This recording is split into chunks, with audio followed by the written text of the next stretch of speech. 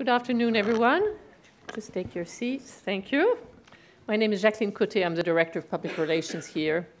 And it's my great pleasure to introduce our speaker today, Professor Susanna Hecht. Susanna joined us, I guess, in 2016, that's three years now, as a professor of international history. But she also teaches at the School of Public Affairs in the Department of Urban Planning at UCLA in the US. Susanna is a specialist on tropical development in Latin America, especially the Amazon basin and Central America. And her research focuses on the political economies of development, ranging from corporate frontiers of cattle and export commodity agriculture to populist land occupation. She also studies their comparative environmental and social impacts her recent book, Scramble for the Amazon and the Lost Paradise of, how do we say that, Euclides da Cunha, whom I understand is a very famous Brazilian journalist, but maybe we'll hear more about that, won her several awards, including her best, the best book in Latin American environmental history for the Ameri from the American Historical Association. So Susanna will talk today about the Amaz Amazon fires and more particularly the rise and fall of deforestation, which unfortunately have been much in the, the news lately. And uh, without further ado, I will give uh, Susanna the floor. So as with all our lunch briefings, I'll ask Susanna if you could keep it to maximum half an hour so that there's plenty of time for Q&A and we will close by 1.30. Thank you. Well, thank you all for coming and giving up your lunch hour for some rather depressing news. But um, anyway, you can look at it this way. It'll take away your appetite, which we all know is so slimming. Um, the thing that I'd like to talk to you, first of all, let me make a sort of sad announcement, which is that the U.S. is withdrawing from the Paris uh, Climate Accords, which um, is yet another blow to thinking about how we might contain tropical deforestation. And also, this week was a week where there were quite a few massacres of indigenous populations throughout larger Amazonia. So the point is that this is life and death for them and the ending of worlds for them, but it also is in many ways for us. I'm not going to go through a recitation of the importance of the Amazon in terms of its carbon storage and sucking up carbon and, and how many species it has and so on. You can read that anywhere. What I'd really like to talk to you about today is more the dynamics of one, a period in which there was really strong forest conservation at a time when the commodity boom was on, population was pouring in, and yet deforestation was under control. So, what was the mystery about how that worked? And then, what, you know, this is what uh, scientists and social scientists love. It's called a natural experiment.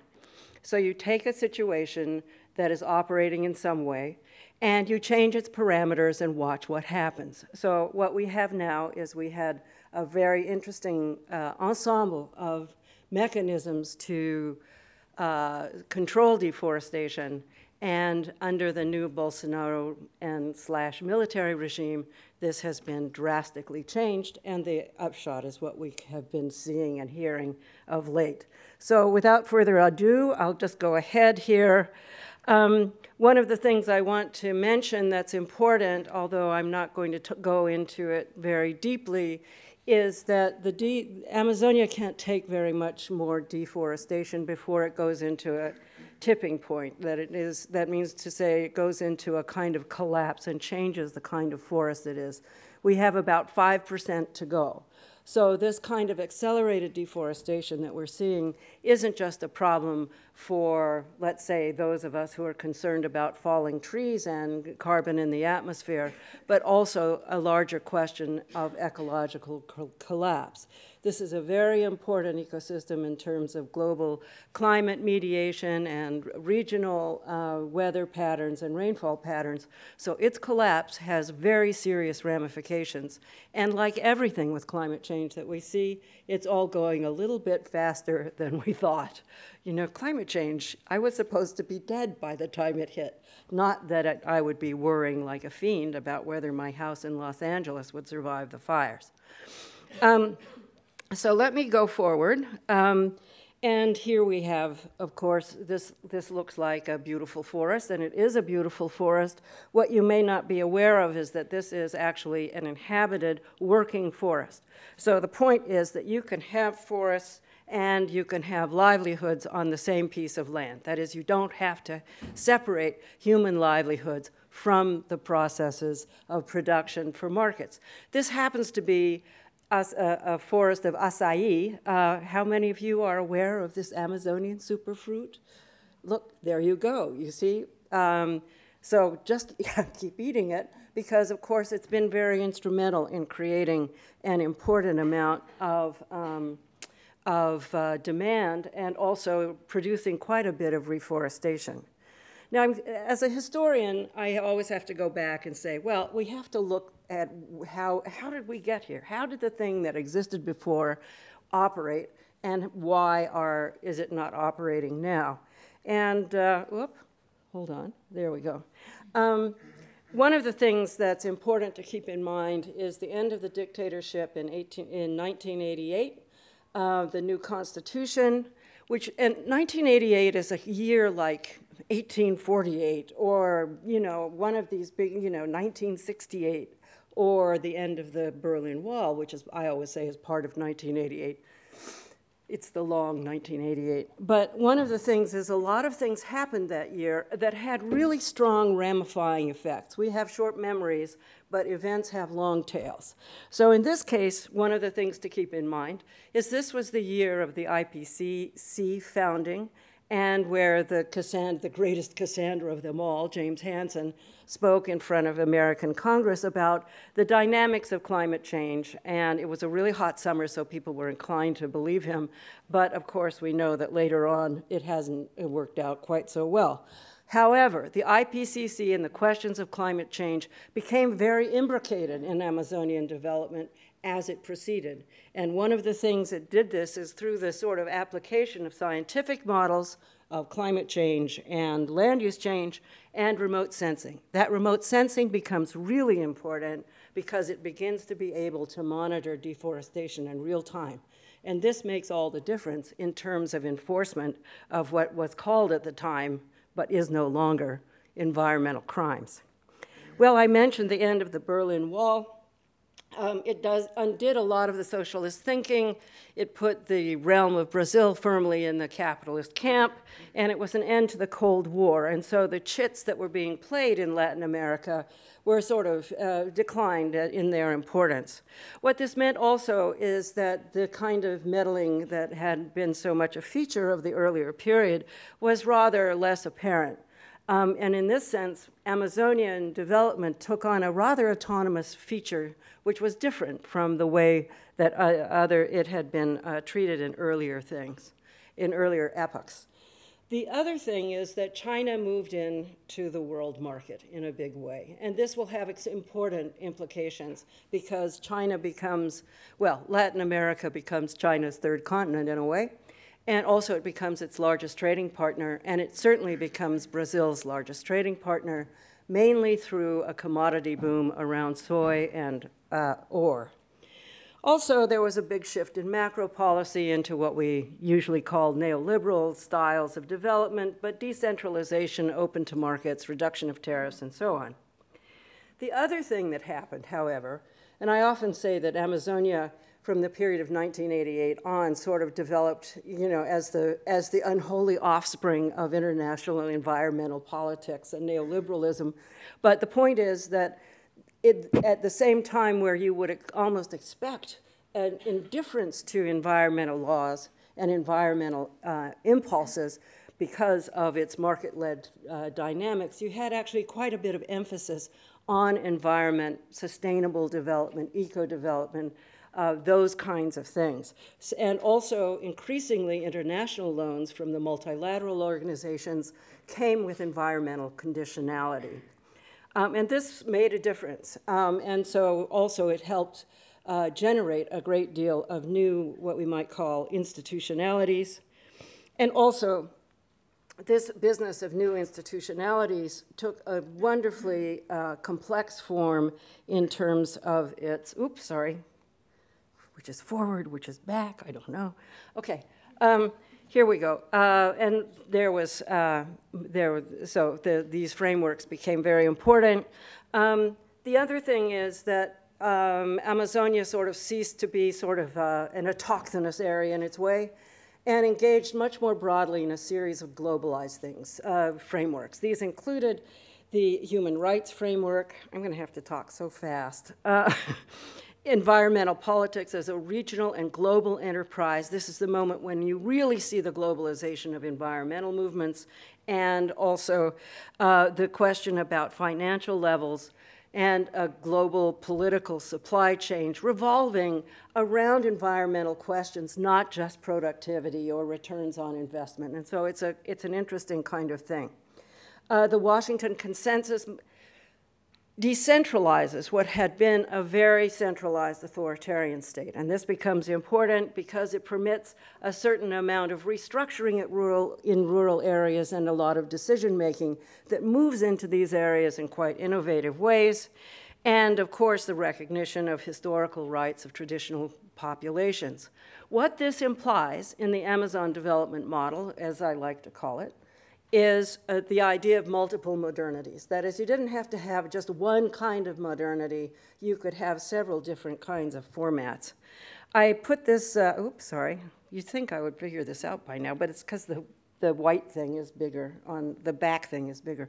Anyway, um, the Constitutional Convention that produced the 1988 Constitution, I put this up because on the one, you have the American Constitutional Convention, which is a bunch of white slave owners.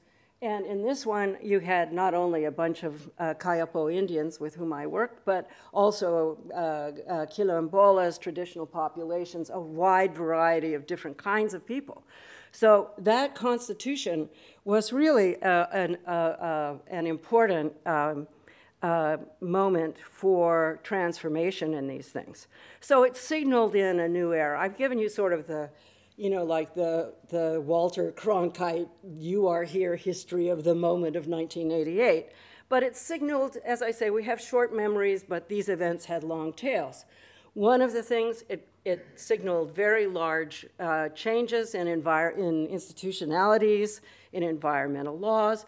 But the other thing that happened was the rise of, let's say, green markets for that acai that we all love, uh, environmental markets for things like um, payment for environmental services. You might have heard REDD, payments for reduced emissions from deforestation and degradation.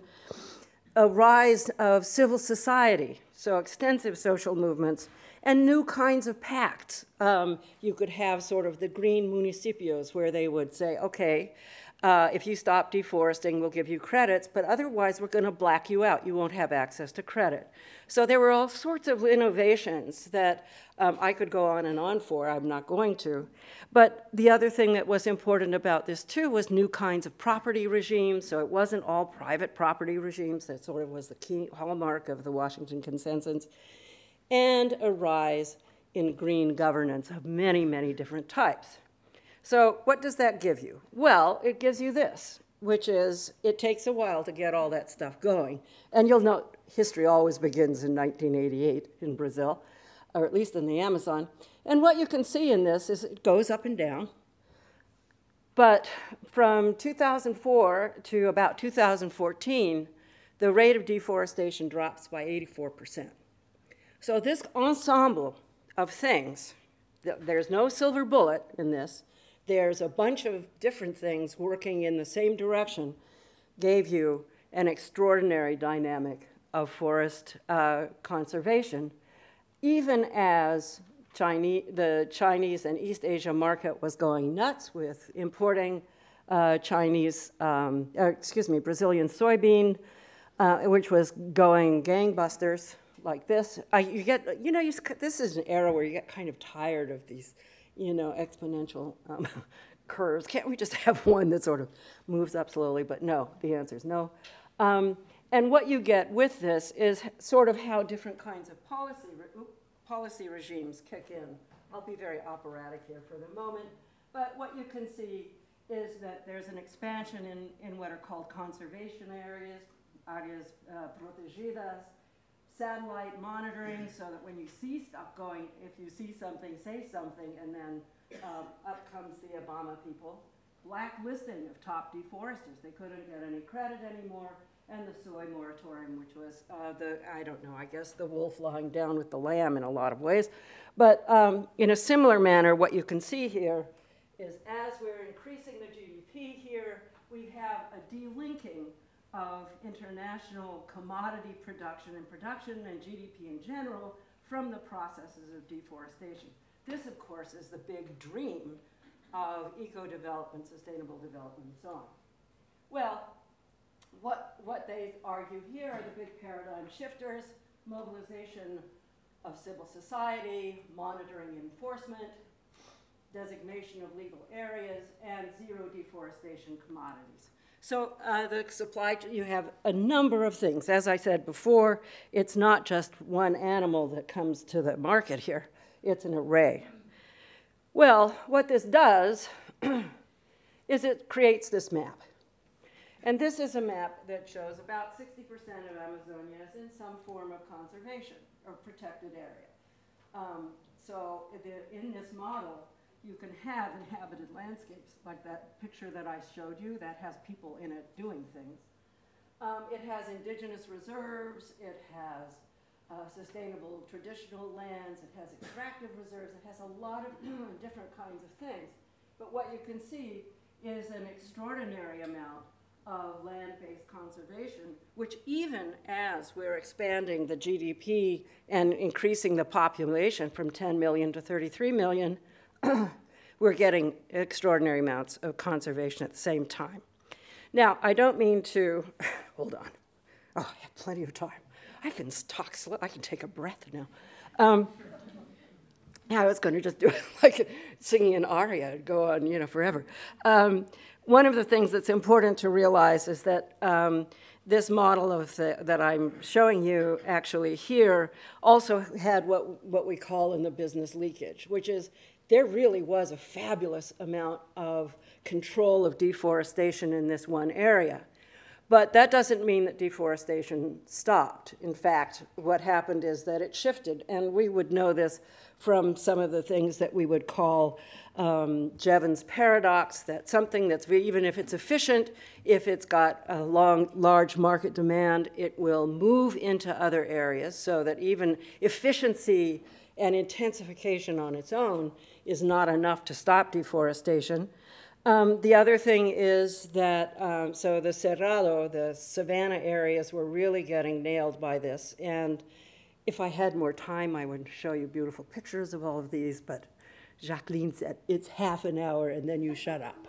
So, so, so she, so she has, she's lashed me with this. So instead of entertaining you with the photographs, I can't do that.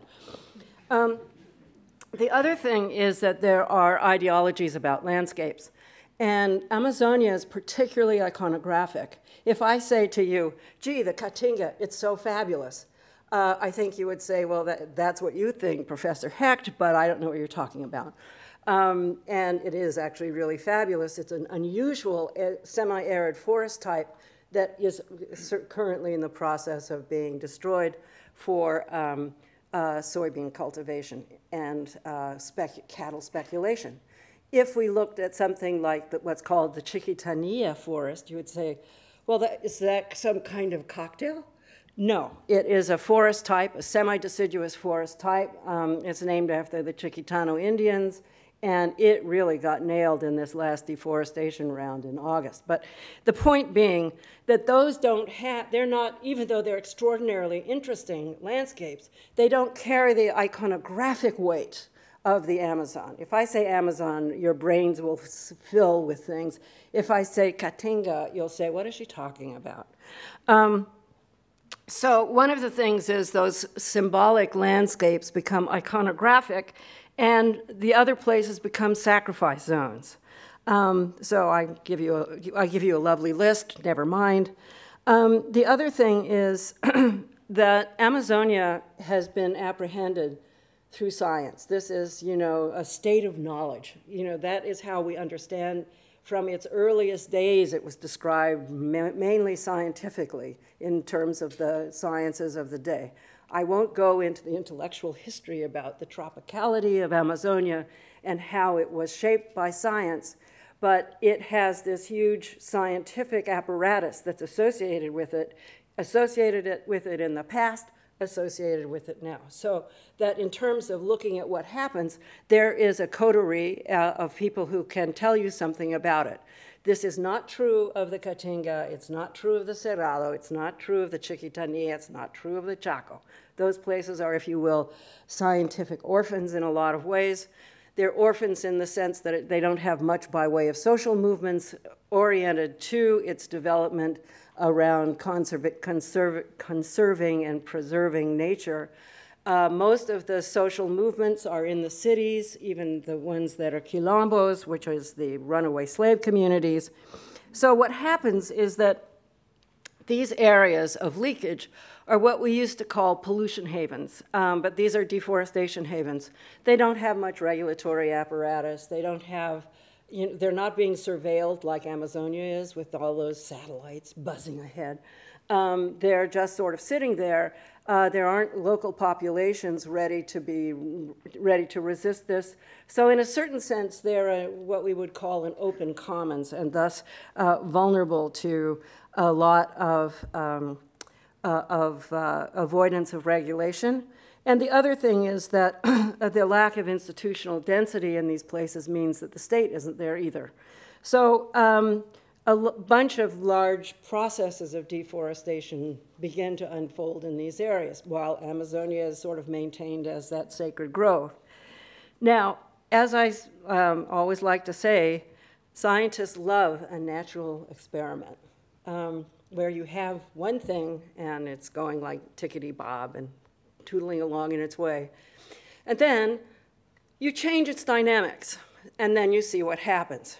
so what we know from leakage is that when you don't have a regulatory environment with scientists and social movements and markets developing and clean supply chains and pacts of various kinds going forward and an active government engagement, that if you don't have that, you get a lot of deforestation like half of the Cerrado. It's about 100, uh, 100 um, million hectares, so it's a lot. Um, but now what happens is we get Mr. Bolsonaro, who is um, often called the Trump of the tro tropics, but even, even he gives Trump a run for his money. Both of them, for whatever reason, seem to despise nature and embark on a war against it. So he made this promise in his um, election campaign which is not one more centimeter for indigenous areas, protected areas, quilombolas, whatever. No, no, no, no. It's over. That part is over.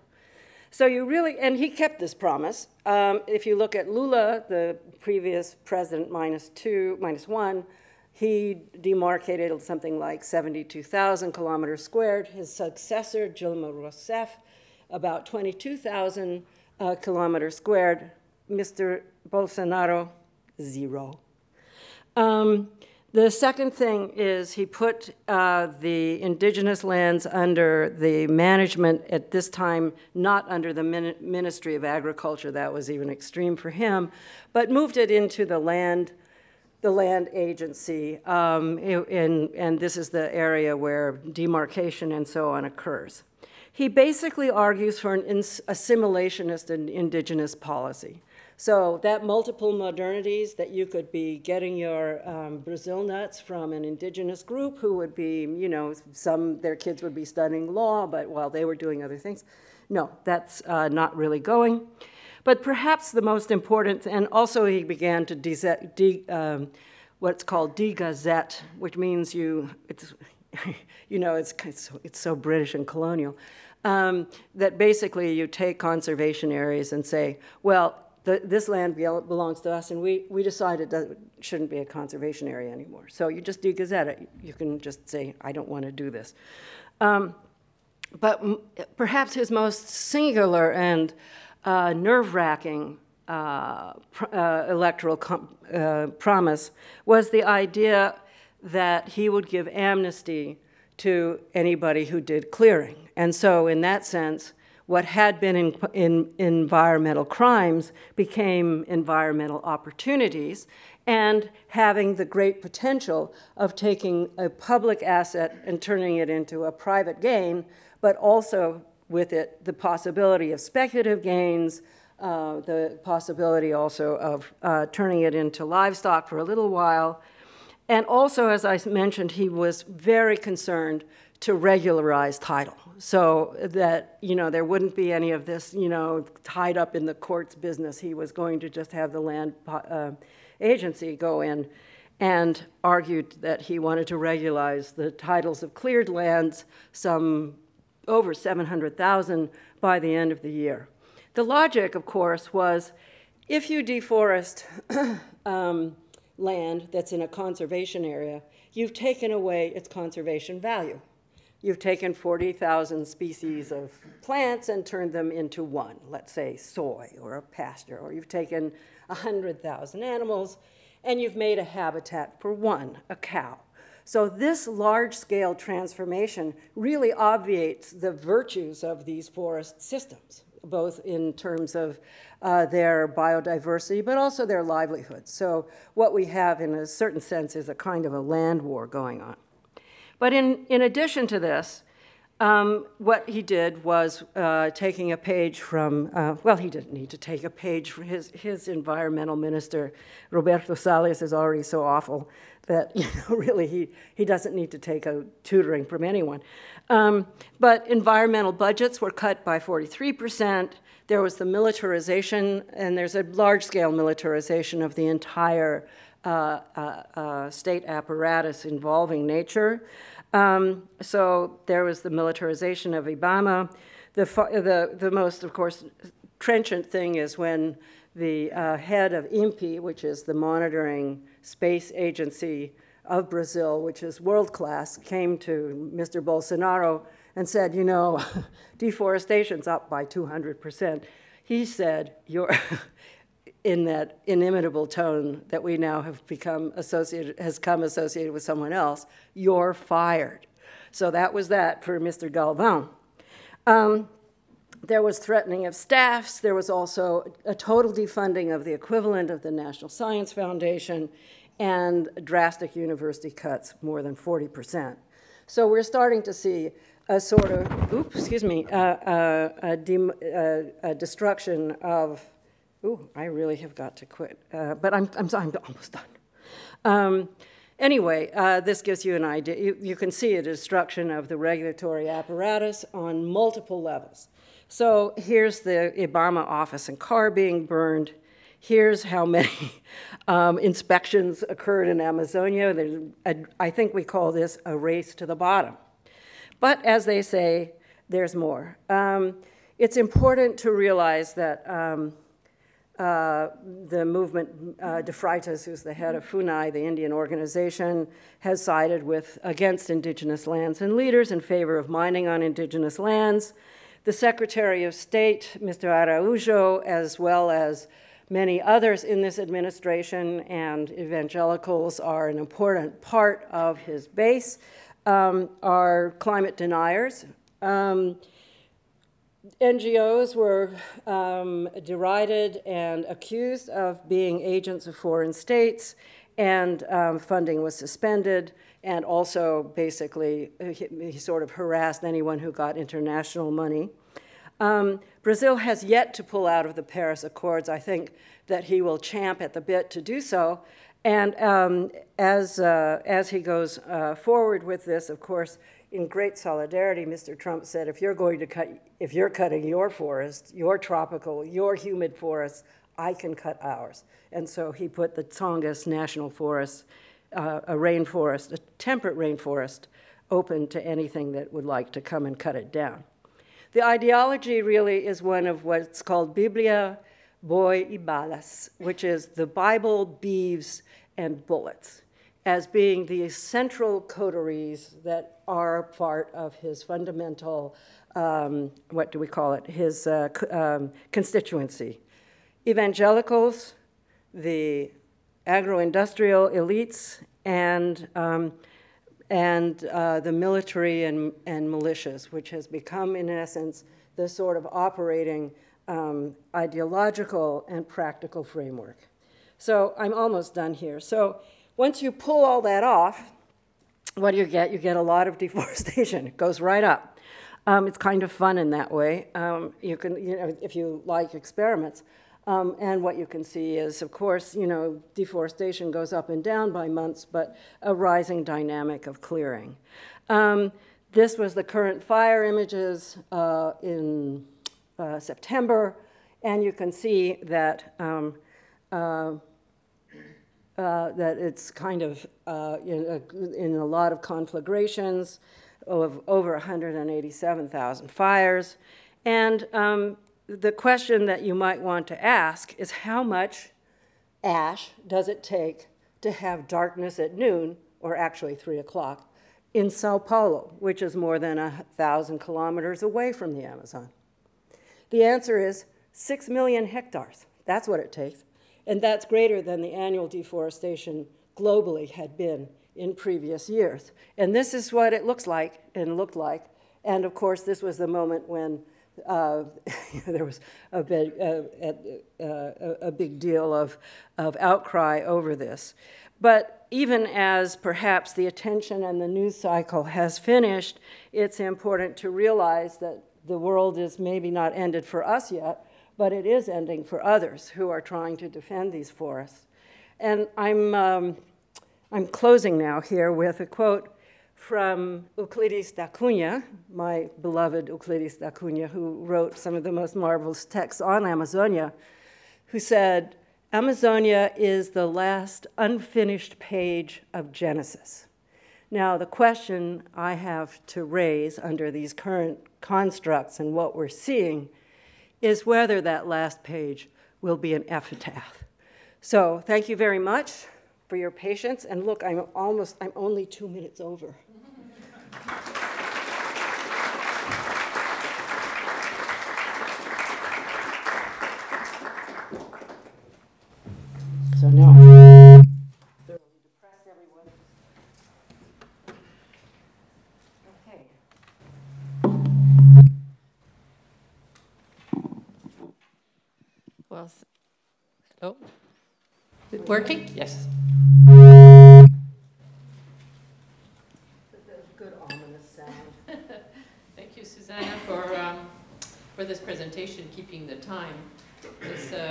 relatively doom and gloom uh, at the end of the day.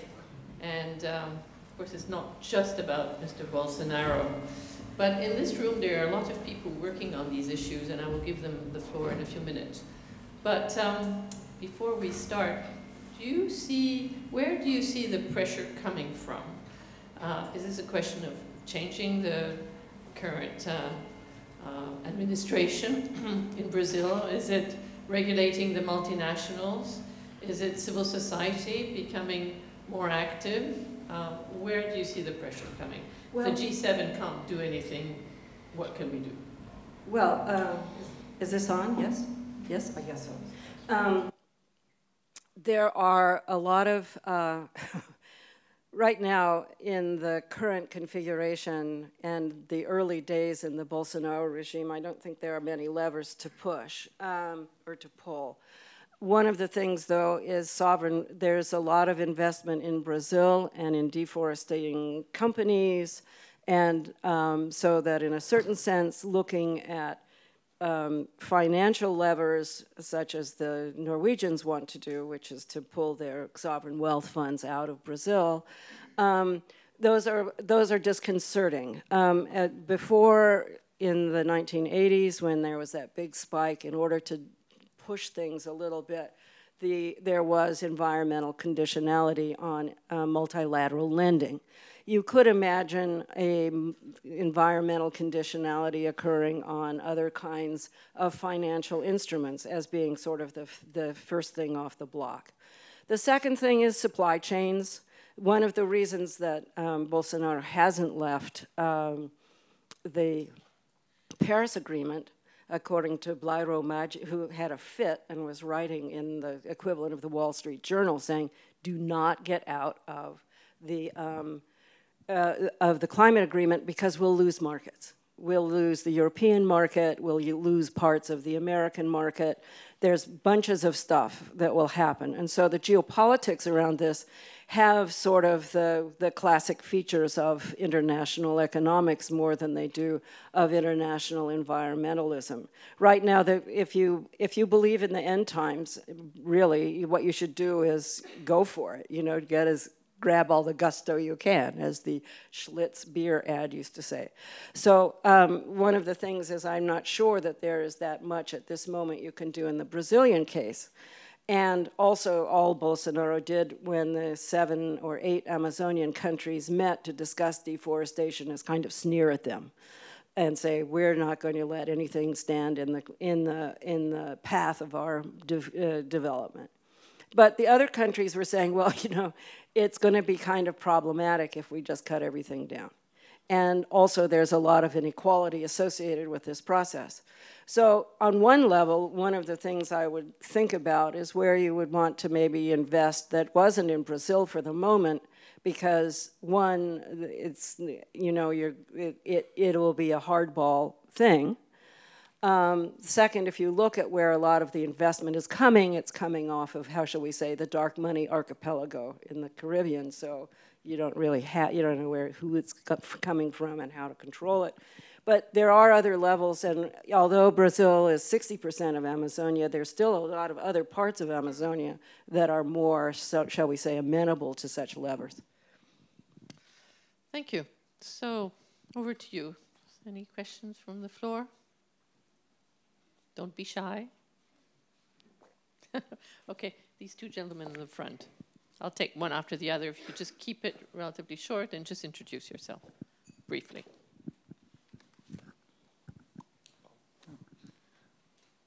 Um, good afternoon, everyone. I'm um, Paulo Martins from the Brazilian mission to the WTO.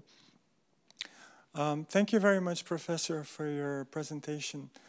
Um, I think it's a privilege uh, for us to have someone of your experience and knowledge on Brazilian issues um, to give um, a fair and balanced view of the situation in Brazil and of the Amazon in particular. Um, for all of us that are in the Brazilian Foreign Service, um, the, the last um, couple months with the appearance of these outcries were really um, dismaying for us um, because um, for those that are involved in environmental negotiations, people know that Brazil from the 1990s onward um, has had a very progressive attitude and um, positioning in international negotiations uh, regarding um, climate change agreements and conservation efforts. So the way that um, Brazilians' uh, management of its natural resources were was characterized or mischaracterized in the past few months was very discouraging for us. Um, and I think your presentation showed that in, um, in, um, from a historical perspective, we have been quite successful in managing our resources. And um, the photo that you showed in the beginning is a, is a good example of the, of the possibility of um, um, having sustainable livelihoods and conservation, um, conservation efforts and um, I think that's what we want to achieve. Um, but th there, is, um, there, is, there is a lot of ill will regarding the Bolsonaro government. I mean, this is a government that doesn't have a year yet. And it's true that um, there have been some policy changes, but he was, he was elected on a pro-business platform. And you may not like that. People may not like it, but that's, he, was, he, was, he is a democratically elected um, leader um, with a platform that he's trying to, to implement. Thank you. Do you, do you have a question to ask, Professor Hecht? I'm, I'm just finishing. Thank, Thank you. you. very much. And um, I, because we think it's important to, to give um, our side of the, of, of the situation. And um, so, um, and you referred to budget cuts. These budget cuts were across the board in the, in the Brazilian government. It wasn't just affecting environmental agencies. And um, just lastly, there have been setbacks in, in deforestation efforts, but these setbacks precede the, the current government. They even go back to the, uh, the, the, Workers' Party government. And this is something that people don't mention um, when they talk about um, Brazil and the Amazon. So it's, um, just to summarize, I think it's a, it's a very complex situation. And um, people need to, to, to realize it and not to, to, to give simplistic um, um, portrayals of, of Brazil and our efforts, um, uh, conservation efforts. And I believe if you talk to any Brazilian, um, you know, conservation and sustainable um, values are deeply ingrained in our society. And it's not something that we will give up.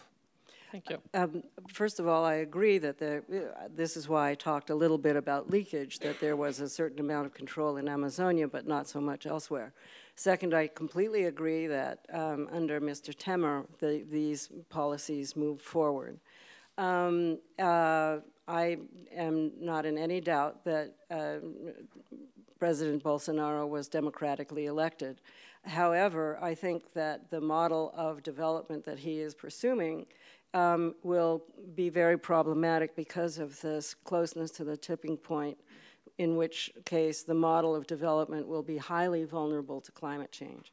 So I can't, you know, because I only had half an hour, I couldn't go into all the details. But I would also agree with you that Brazil's international environmental management had been its jewel in the crown of its diplomacy. It was extremely important and very well thought of. In the backlash is because these, uh, these deforestation dynamics were um, so intense. And just to be fair, um, Evo Morales wasn't getting any big points either at this time with his uh, permitting of um, the deforestation as, as much as possible. And even as the smoke was swirling around him in San Ignacio, he was sending off um, uh, uh, 92,000 tons of beef to China. So there's plenty of blame to go around. The question is, it's not, um, as, uh, as actually an Amazonian told me, because um, I talk to Amazonians quite regularly, actually, um, feeding China's pigs is not our liberation. And I think that what, I think that this is a problematic thing to take one of the world's most complex ecosystem and turn it into just a few species. This is turning it into what the um, biologist E.O. Wilson calls the Eremocene, the age of loneliness. Thank you. There was another question there, and then if you could just keep it short so we can have several people intervening. Thank you. Thank you.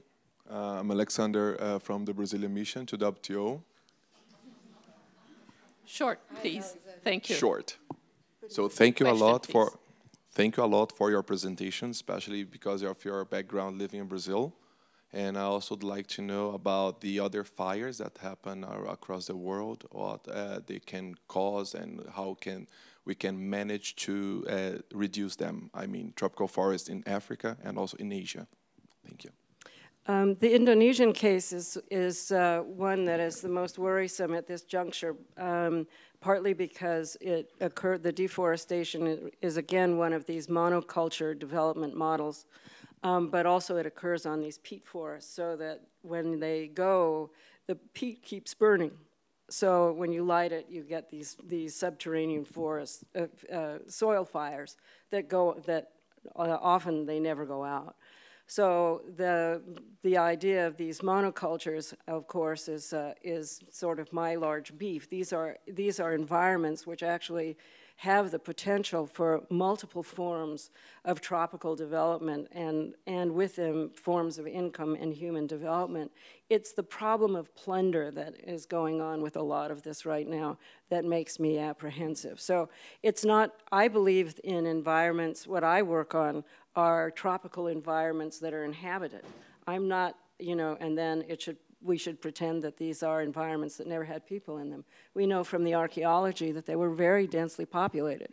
So my point really here is to say it's not, it's not no development, it's the form of development. It's the form of engagement with the forest in ways that, um, that produce livelihood, income, and um, keep a forest standing. I didn't have time to show it, but I have a very interesting slide that shows for the state of Pará, eh, that the returns to acai are about double the returns to soy. And there, you know, acai isn't everywhere and soy isn't everywhere, but there's a lot more area in soy than there is in acai. So in an inhabited environment, like my first foresty slide, you can have a really good income, and I've known those, that, those areas for a long time, and they're really, really much better under these conditions of globalized commodity markets, but they're globalized commodity markets within a complex environmental framing, not within the context of monocultures.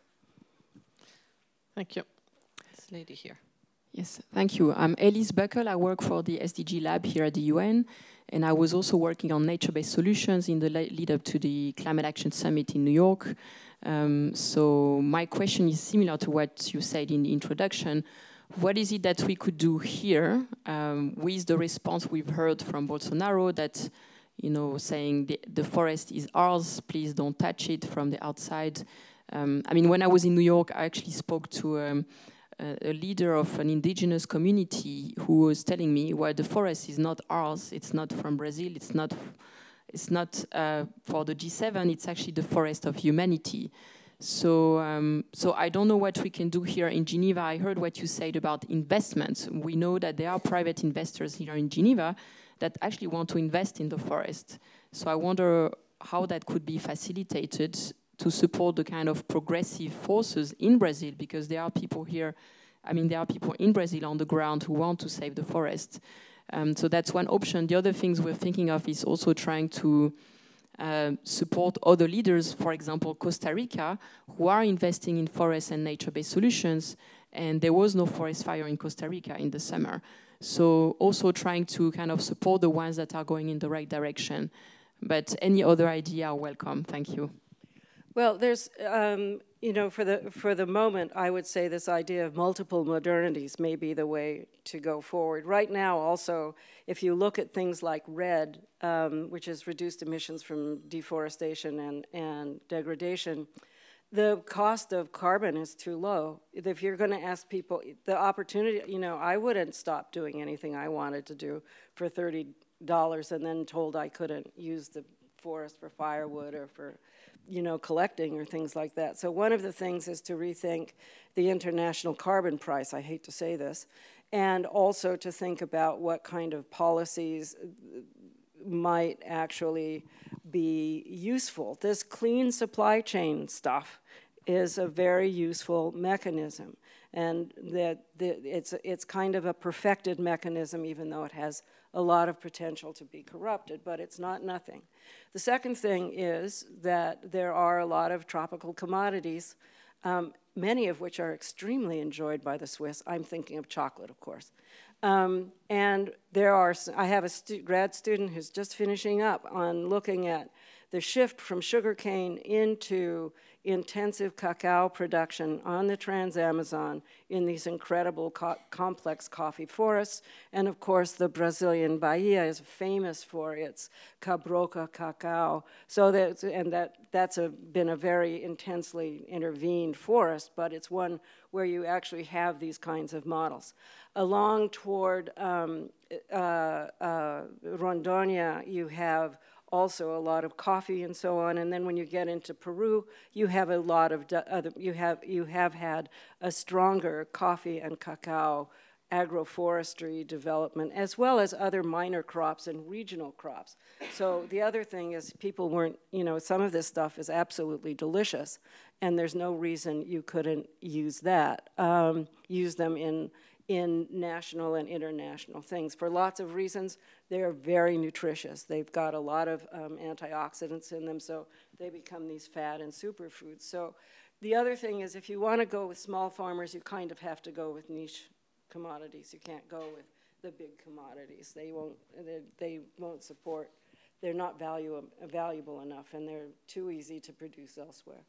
So there's, there, are some, there are some models. A more agro-silvo-pastoral system than just those open brachiaria, th brachiaria things are, are options too in the cattle model. There's, um, I began working in livestock in Amazonia and the expansion of livestock. So I spent my entire life thinking about, well, you know, and I'm dismayed that it still is one of these things that has really low carrying capacities, one animal unit per hectare, a lot of soil and environmental degradation. When anytime you go by a tree with, uh, in a pasture, all you see is all the cows underneath it. So one of the things is it's certainly possible to start rethinking some of these things. The other thing, of course, is perhaps it would make more sense to have protein out of water than protein out of land. This is one of the world's major fisheries. It has a long history of sustainable management. Um, if you go into places like uh, Ecuador, every little rural area has a fish pond. It's sort of like, um, you know, and it, it's tilapia, not my favorite. I'd rather be eating a surubim. But anyway, uh, my taste in fish is for those big river fishes. But anyway, the point being that there's other ways to produce protein than always with cattle. But and and fish don't really need a lot of management, just like cattle. It's hard to herd fish, you know. Um, so I think that there's a lot of alternatives. I don't know how uh, open, and perhaps that I can chat with the gentleman from the ministry afterwards, but I'm not exactly sure whether this is the moment, given the kind of um, uh, language that is being um, thrown around to discuss this, uh, but certainly it will soften with time. But the other thing is that there's lots of other options within the Amazon basin in which various kinds of, in, of governments and regional governments might be more amenable to various kinds of landscape options of rural development that would be more in line with the sustainable development goals. I uh, recently saw a film called Cowspiracy. I was trying to find some good films for our Cine Club series, and it's about the the rise of the industry in the Amazon and the conclusion of the film was that we should change our eating habits radically. So I'm wondering whether that is one solution that one can put forward for change in the way that this land is being used. Um, well, I think that um, Brazilians like to eat meat. Um, I think that changing diets in Asia and the Middle East uh, support a lot of the global demand for Brazilian beef, and Brazilians like to eat their own beef, which is quite delicious, I have to say. Um, so the question is perhaps um, uh, if one, there certainly, uh, I was just reading in the New York Times about in the center of Bahia that there was a, the schools were going vegan, which you know, kind of set me on my heels. And needless to say, it set everybody else there on their heels too. But um, so it was kind of amusing to read. But the point is that um, that livestock do a lot of things. They do a lot of things for small farmers. They do a lot of things for big landowners. One of the things is that they're not very labor demanding. So in a context where um, you have difficulty with uh, having labor out there, it's a useful thing. The other thing is it's both the product and the producer. So it produces as well as um, is the product, the commodity itself. You can walk it to a market if you have to. It enjoys the prestige of the Luso-Brazilian history about land ownership and um, the sort of idea of what it means to be a gentleman, to be a fazendeiro. So there's a lot of things that go on with it. It's not just an animal that for slaughter. It's not like a tilapia. I personally have no feelings about tilapia. We'll eat them until you know, you know, without a moment's hesitation. Uh, but um, but cattle are imbued with a lot of with a lot of meaning of multiple types and also a lot of strategy. The other thing is that they're a very good placeholder until for land speculators. So if you want to cut forest but don't want to you don't want to do a lot of investment, you burn, uh, you take out the valuable wood, slice down the rest of the forest, burn it, and throw grass on it. It's relatively inexpensive. You can hit the big peak of productivity in the first five years and then sell it. So it creates an asset. And then if you didn't have to buy the land and can do the cattle with credit, although this, they were blacked out in many cases. So one of the dynamics in this is speculation. The other thing is cattle are also used in many areas more toward the west and also in Peru and Ecuador and Bolivia as a way of money laundering too. So they do a lot of things in those landscapes. They're not just producing meat. Thank you. Any other question? Here's this gentleman in the front.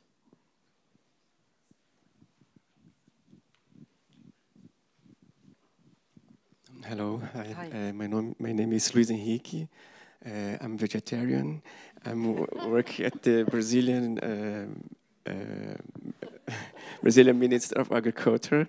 And uh, first, um, I have uh, just one very brief question, but I, I'd like to, to, to comment what uh, the lady said here before. According to the lady, Bolsonaro said the Amazon is old and we can do whatever. But the, maybe we, I, I, I, I, would like to say something that we maybe uh, can lead us to think about. And if you look the world map, and 4,000 years ago, Brazil uh, had around 6% uh, of the whole primary forest in the world. So 4,000 years ago, 6.5%. It's around this. And can you guess how much Brazil or, uh, holds today?